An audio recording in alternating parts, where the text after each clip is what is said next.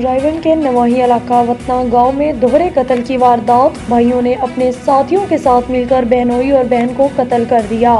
कत्ल होने वाले की शनाख्त अवैस के नाम से हुई। रायगढ़ पुलिस ने मौका पर पहुंचकर दो मुलजमान को मौका से गिरफ़्तार कर लिया।